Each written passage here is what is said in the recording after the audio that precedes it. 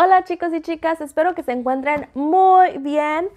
nuestra meta de hoy es soy capaz de restar fracciones impropias usando modelos de área. Ahora en su trabajo de digital, no en el trabajo digital y en el trabajo que recibieron en el paquete es lo mismo. tengo tres, model, tres ejemplos de modelos de área, pero la verdad es que era nada más para que ustedes pudieran ver que le estoy quitando a seis cuartos.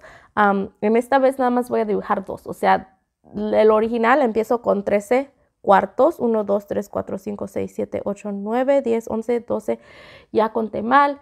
4 más 4 son 8 más 4 son 12 más 1 es 13, 13 cuartos y, y aquí es donde lo voy a quitar los 6 cuartos. Así que voy a usar el azul para representar los 6 cuartos y el verde representar los 13 cuartos. Ok, so 13 cuartos menos 6 cuartos. 1, 2, 3, 4, 5, 6.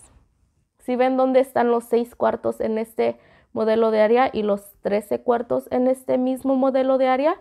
Ahora, antes de continuar, les quiero recordar que las fracciones impropias son fracciones en donde el numerador es más grande que el denominador y eso significa que la fracción es mayor o más grande que un entero.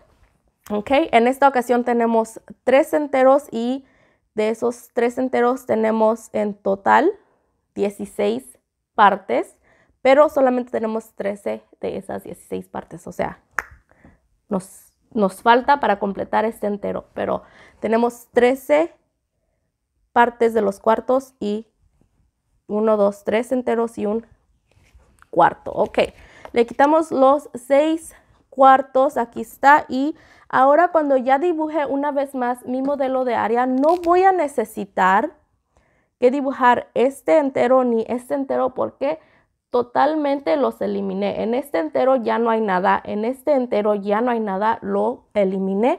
Así que solamente voy a dibujar este y este.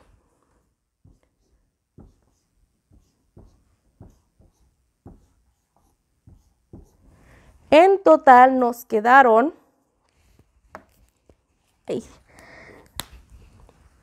1, 2, 3, 4, 5, 6, 7. Nos quedaron 7 cuartos. Una vez más, el cuarto no cambia porque cada uno de nuestros enteros está partido en cuatro partes. Así que cuatro partes y cuatro partes. Ok, 7 cuartos. Ahora, ¿cómo puedo usar el, el, modelo de para convertir esto en fracción mixta, en fracción de número mixto? Ok, so, una vez más, sabemos que uno de estos cuadritos representa un entero, así que tengo un entero y nos quedó 1, 2, 3 de los cuatro. Así que tengo en total un entero con tres cuartos. Ok chicos y chicas, espero que esto les haya ayudado a, encontrar la respuesta de cómo restar fracciones impropias. recuerden que usar los modelos de área significa que es un poquito más fácil encontrar el número mixto, pero no es la única forma. Así que mi meta es que ustedes encuentren diferentes formas de cómo convertir fracciones impropias a números mixtos. Si ustedes encuentran algo diferente, me dejan saber para que yo haga un video y les diga a los demás, les comparta a los demás. Ok, ah, eso es todo por hoy. Adiós chicos y chicas.